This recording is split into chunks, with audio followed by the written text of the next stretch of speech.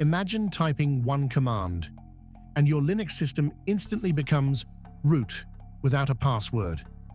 This is not fiction. This is a real vulnerability called CVE 2025-32463, and today I'm showing you what it is, how dangerous it is, how attackers abuse it, and most importantly, how to protect yourself.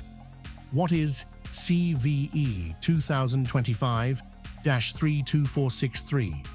CVE 2025-32463 is a critical vulnerability discovered in sudo, one of the most trusted Linux tools used for privilege escalation. Normally, sudo is supposed to protect your system, but this bug allows attackers to trick sudo into loading a malicious library, resulting in instant root-level access. Sudo trusts configuration, attacker tricks it, using library hijacking. System thinks attacker is trusted code, full system compromise. Why this bug is extremely dangerous. This is not just a normal bug. This is a root-level compromise. It allows full file system access, password dumping, backdoor installation, disabling security tools, complete server takeover.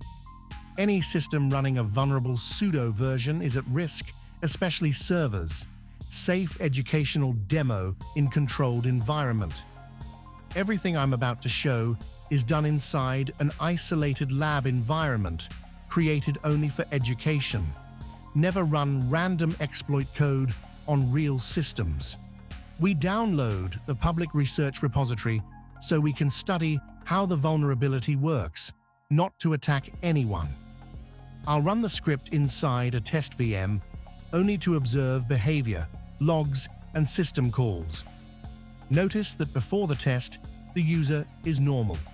After triggering the vulnerable behavior, the permissions change. As you can see, sudo has been successfully exploited. If you type whammy, you will see that you are now root. How attackers think. Mindset, not instructions. Attackers don't start with magic. They 1. Scan versions. 2. Look for privilege escalation paths. 3. Abuse trusted binaries like sudo. 4. Inject code through library loading. Understanding attacker mindset helps defenders stop them. How to protect yourself, most important part. Update sudo immediately. Check your sudo version and update via your system package manager. The vulnerable sudo versions range from 1.9.14 to 1.9.17. To check whether your sudo is vulnerable, type sudo dash dash version. As you can see, my sudo version is 1.9.16, which means it is vulnerable to this attack. Linux has already fixed this bug, so to protect yourself, update sudo by running sudo apt update and then sudo apt upgrade sudo. This will upgrade your sudo version to the latest patched version. Use system hardening. Enable Linux slash AppArmor where possible. M limit sudo access. Never give sudo rights to unnecessary users. File monitoring. Watch for suspicious dot, so files and temp folders. IDS slash EDR. Use tools that monitor unusual privilege behavior. Log review. Regularly check sudo and auth logs.